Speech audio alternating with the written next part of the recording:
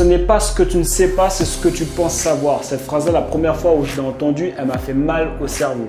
On s'est tellement fait matrixer depuis tout petit avec certaines informations que le premier pas déjà qu'il faudrait faire, c'est désapprendre ce qu'on nous a appris pour pouvoir apprendre euh, des nouvelles choses et ça passe par les livres. Quand j'ai commencé à lire des livres sur l'argent, ça m'a fasciné à quel point j'y connaissais rien et que tout mon entourage aussi ne connaissait pas grand chose. D'où pourquoi la plupart des gens ben, ont des problèmes avec l'argent. Donc j'ai lu énormément de livres sur l'argent, certains livres m'ont mis des gifles, ça m'a fait carrément changer de direction toute ma vie et d'autres m'ont juste fait perdre mon temps. Parce que ça, c'est vrai qu'on n'en parle pas trop, mais il y a des livres, c'est pas parce que c'est un livre que forcément il est bien. Il y a des livres qui sont tout simplement euh, mauvais. Donc euh, je vais te faire gagner énormément de temps par rapport à ça. D'ailleurs, je me suis même dit maintenant, si je vois que le livre il est pas bon, ben, je le lis pas jusqu'au bout. Alors qu'avant, je me forçais.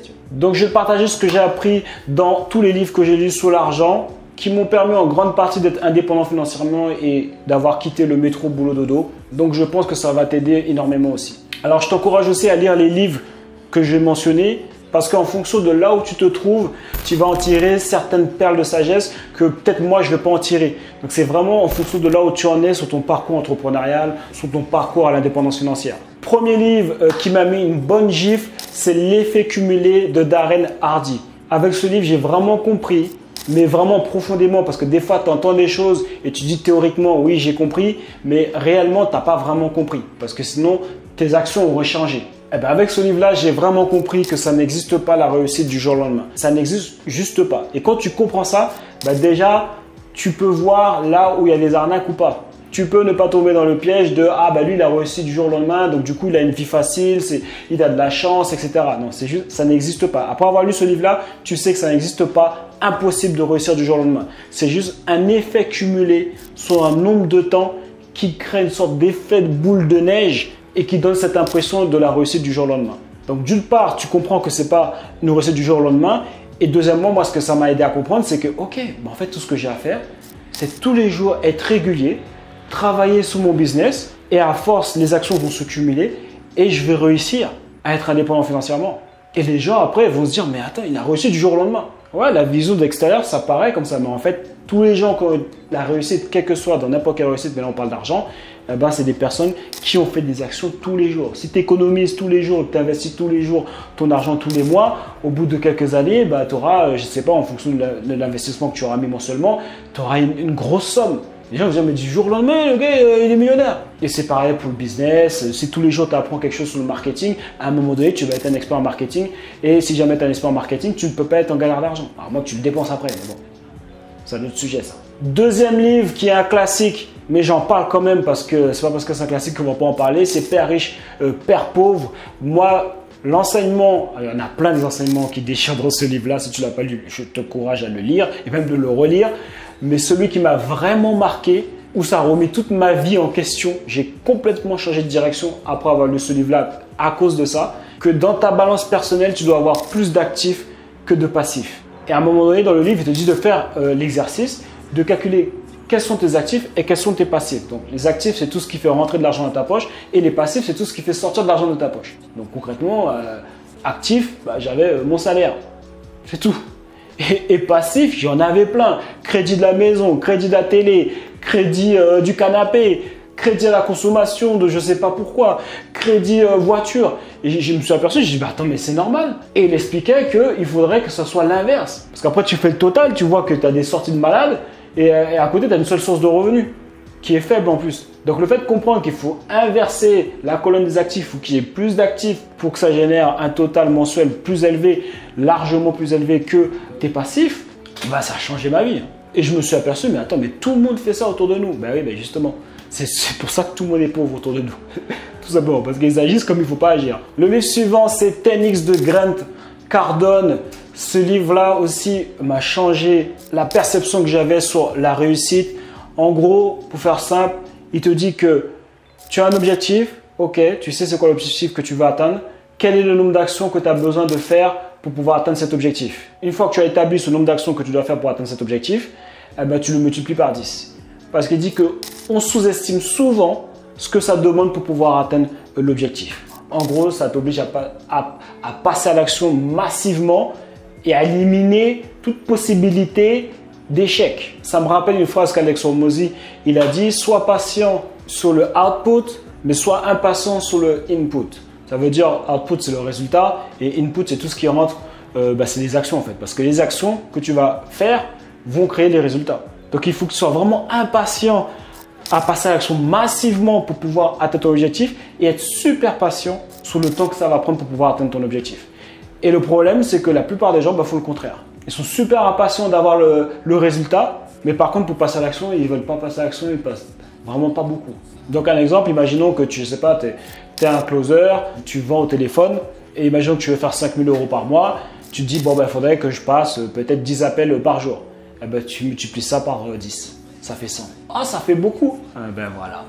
C'est pour ça qu'il y en a qui réussissent et d'autres non. Ça, ça m'a vraiment permis de changer, tu vois, cette partie-là. Ok, action massive. Donc tu vois, chaque livre te permet de, de régler une partie de ton état d'esprit qui t'empêchait en fait de pouvoir faire de l'argent. Le livre suivant, c'est Be Obsessed ou Be Average. Ça veut dire soit obsédé ou soit juste un gars moyen. De Grant Cardone aussi, pareil. Ça, ça m'a permis de comprendre que j'étais normal parce que souvent à chaque fois que je me mettais dans quelque chose, eh ben, j'ai toujours été obsédé par ce que je faisais. Avant, je faisais de la musique et j'étais obsédé euh, par la musique. Je jouais au saxophone, j'étais obsédé. Je mangeais ça, je regardais que du contenu là-dessus. J'avais que des amis où je parlais que de musique. J'étais obsédé par ça. Et souvent, j'avais un petit peu ce, ce truc de penser Ah, peut-être que je suis pas normal, je suis trop obsédé, etc. Et lui, il m'a permis de comprendre qu'en fait, c'est normal d'être obsédé par ton objectif. Si tu n'es pas obsédé par ton objectif, tu ne peux pas réussir. Tous les gens qui ont du succès dans ce qu'ils font, ils sont obsédés. Si tu prends les grands sportifs, euh, Michael Jordan, euh, Ronaldo, tous les businessmen à succès, ils sont obsédés par l'objectif qu'ils se sont fixés. Donc c'est normal d'être obsédé. Donc si jamais tu es obsédé, sache que c'est normal. Tu ne peux avoir que des résultats dans, sur ce que tu te focuses. Et pour ça, il faut être obsédé. Donc moi, personnellement, ce livre m'a beaucoup aidé à comprendre ça. Parce que si tu n'es pas obsédé par ton objectif, bah, ça veut dire que ce n'est pas une priorité dans ta vie. Donc si ce n'est pas une priorité, ça veut dire que tu mettras pas toutes les ressources que tu as à ta disposition, temps, argent, pour pouvoir euh, réussir. Le livre suivant que j'ai bien aimé aussi, c'est How to Get Rich, ça veut dire comment devenir riche de Félix euh, Denis. C'est pas un livre qui est très connu, mais moi j'ai vraiment aimé. Euh, il est super direct, sans filtre dans le livre. Déjà, le livre il commence Bon, les gars, faut faire de l'argent parce que c'est super aphrodisiaque auprès des femmes. J'ai dit Ah bon, Félix? Tout, tout de suite, dès le début. Mais bon, euh, c'est pas l'enseignement que j'en ai tiré, hein. Euh, calme-toi Gérard. L'enseignement que j'en ai tiré, il y en a plein. C'est pour ça que tu dis, lis le livre parce qu'en fonction, peut-être que toi, il y a d'autres choses qui vont te parler. Mais l'enseignement, moi, qui m'a marqué dans ce livre, c'est qu'il disait que pour pouvoir être riche, il faut que tu aies des parts d'entreprise. Donc si jamais tu as déjà un business ou que tu fais rentrer un associé, il faut toujours que tu négocies vraiment comme, un, comme, un, comme le loup de Wall Street de rien lâcher au niveau de tes parts d'entreprise.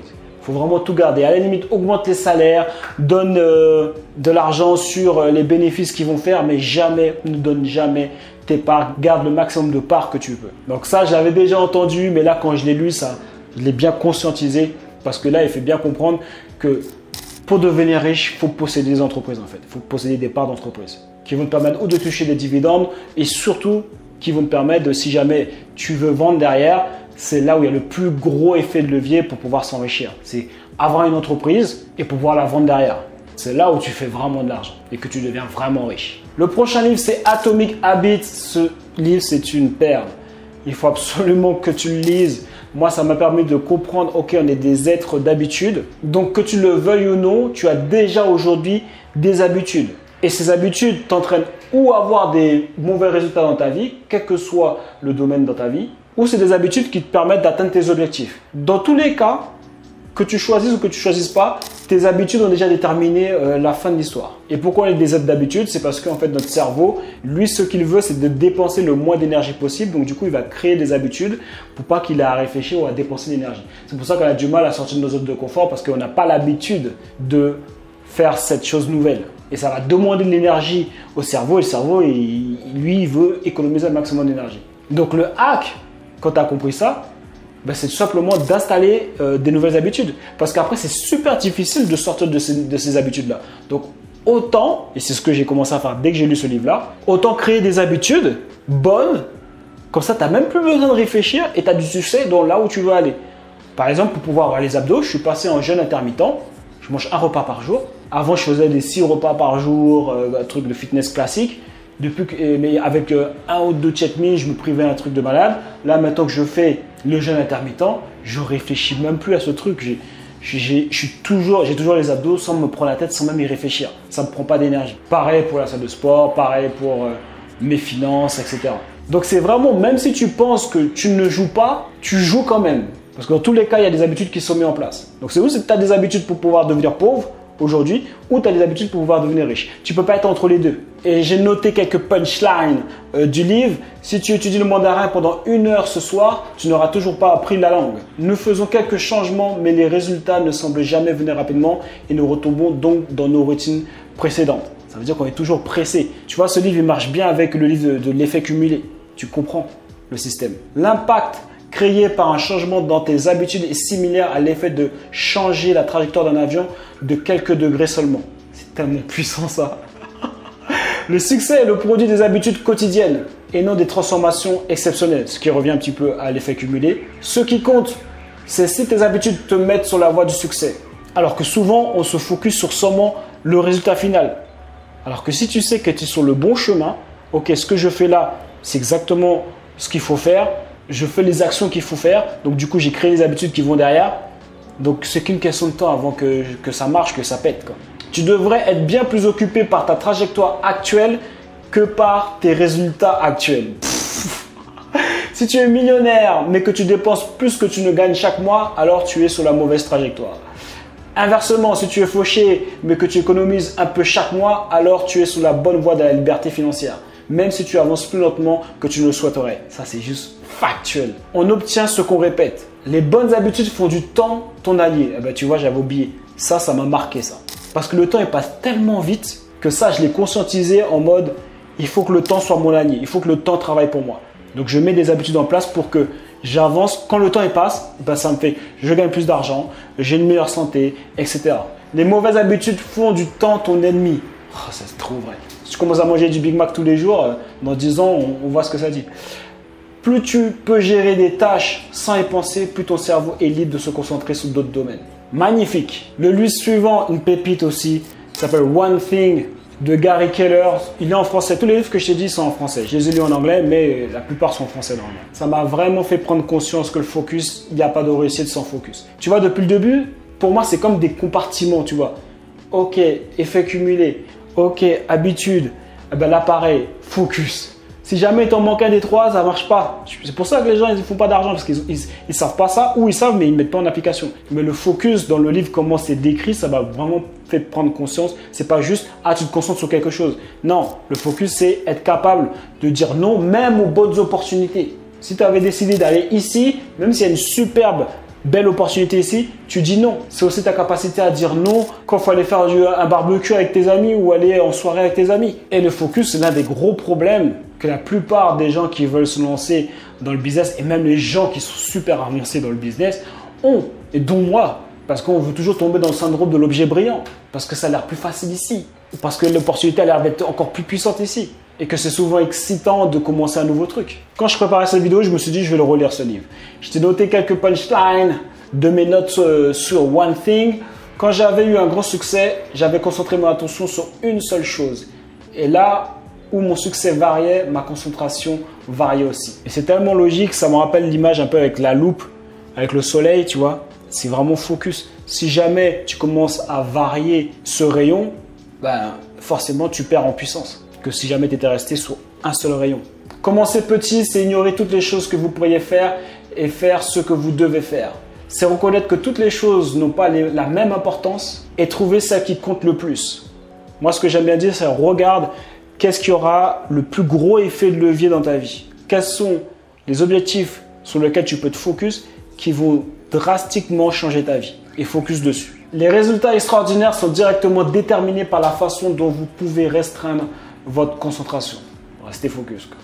Le problème de vouloir en faire trop, c'est que même si cela fonctionne, ça ajoute plus de travail et de choses à votre vie sans rien couper en apportant beaucoup de mauvaises choses avec. Des délais non respectés, des résultats décevants. Non mais c'est trop vrai.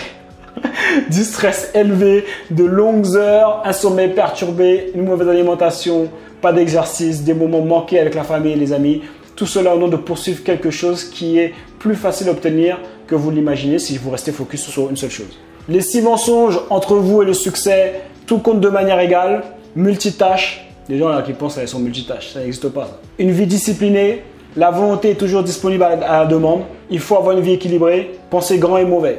La majorité de ce que vous voulez viendra de la minorité de ce que vous faites. Les résultats extraordinaires sont créés de manière disproportionnée par moins d'actions que la plupart des gens ne le réalisent. C'est en gros quand tu es focus, bah, tu es super productif. Et donc du coup, tu as des gros résultats. Commencez petit, ne cherchez pas juste à être occupé, concentrez-vous sur être le plus productif et laissez ce qui compte, donc ta priorité, ton objectif que tu as mis en priorité, le plus guider euh, ta journée. Tu n'as pas besoin d'être une personne disciplinée pour réussir. Vous pouvez réussir avec moins de discipline que vous ne le pensez pour une simple raison. Le succès consiste à faire la bonne chose, pas à tout faire bien. En d'autres termes, sans objectif, vous ne saurez jamais quand vous avez assez d'argent et vous ne pourrez jamais être financièrement riche. Ça, c'est pour les gens qui veulent jamais s'arrêter. Après, c'est OK.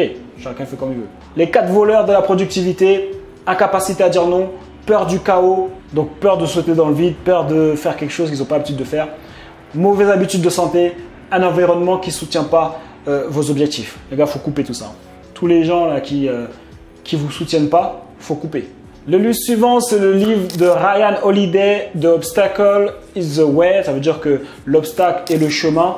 Ça, ça m'a permis de comprendre qu'il n'y a pas de réussite sans échec. Tu es obligé d'avoir des obstacles. Et en fait, tu en as même besoin. C'est ce qui te permet de grandir. C'est comme si la vie, elle te testait pour, te, pour voir est-ce que tu mérites vraiment d'avoir le résultat que tu vas avoir? Et c'est normal d'avoir des obstacles. D'une part, quand tu vas sortir de ta zone de confort, parce que c'est des choses nouvelles, donc c'est normal.